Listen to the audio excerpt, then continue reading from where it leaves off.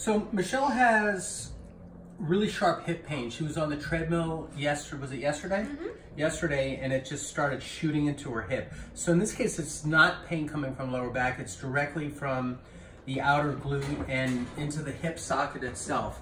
So move your arms to the side of your body. We're gonna go through, I'm gonna start out, uh, this is gonna be a pure activator adjustment. Mm -hmm. uh, she's showing short on the right leg. Here, take a look at this. And you see how the right leg draws short? By right here we're looking at mm -hmm. by a good centimeter, maybe 1.5 centimeters. I bring it up to position two, it evens. So it's short in position one, evens in position two. I'm gonna check the knees, but it doesn't make any difference. Sometimes the knee will balance it out. So we're not gonna start with the knee. We're gonna check, and we're not getting anything from the sits bone of the right. So we're gonna go to the opposite side for an AS ilium, anterior superior. We're gonna pull down on that and see if that evens it and it does.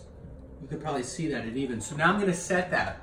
There's three different contact points. We come just left of the second, second sacral tubercle. We come on the superior, uh, from S to I on the um, iliac crest, and then we come down through the spine of the ischium, which is a great landmark on the left ilium, where there's one on the right, but we just did the left. Come look at this now, just from those three taps, we got that even.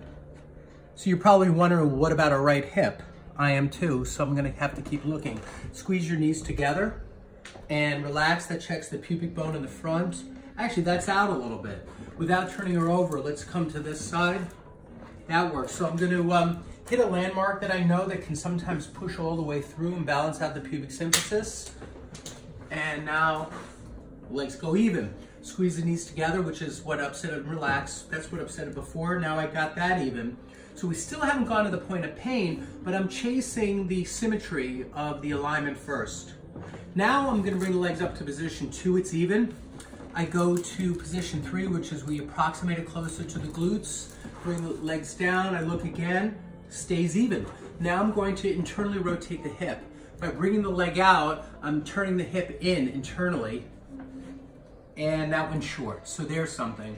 We have an internally rotated right hip and it also shifted anterior. So we're gonna take out both at the same time. We're gonna take out the anteriority and the internal rotation. I'm gonna have the patient lift their hip up just a little bit and I'm gonna come under.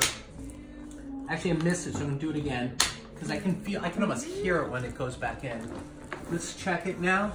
So here I'm gonna do what stressed it out before, which is internally rotating the hip staying dead even. Come look at this one more time. It's nice. Legs are perfect. Let's check in a few other directions. I'm gonna stress the hip superior, stays even. Posterior, I'm gonna grab a little tissue pull, pull lateral. That's good. Let's just check the left hip just in case. Those are nice, that's fine. That's not gonna be the thing. Now we're gonna jump up to the fifth lumbar because I'm still curious about that because she was running. And switch arms, please and both arms on the lower back. Good, it's balanced. Both arms to the top of the table. I just want to see what some of the thoracics are doing. So you're gonna bring both hands up here. And now bring both arms down. Let's get you standing up for a second, moving around, see how you feel. And lean in both oh. ways. How does it feel now? Looser. Yeah, it's a lot looser. It's not as it's not as pinchy, yeah, right? it's not as pinchy. It's like yeah. someone's grabbing a tissue and some, some sort. So it feels yeah. a little better already, it right? Does, yeah. Okay, good. You did that. Yeah, th that's the big one. That that really. That was the one. Hit the mark. The um the hip was internally rotated and it pitched forward anterior. So when we took that uh, misalignment out, it took a lot of pressure off. Yeah, definitely. definitely. That's it.